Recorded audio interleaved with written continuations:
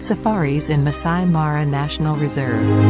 Located in southwestern Kenya, on the border with Tanzania, you'll find one of the world's most popular safari destinations, the Masai Mara National Reserve. Home to amazing wildlife as lions, elephants, zebras, hippos, and cheetahs, the region is also inhabited by the Masai people, dotted around the park in villages. Masai Mara is the most popular reserve for a safari in Kenya, especially during the Great Migration when millions of wildebeest are crossing the Mara River between July and October.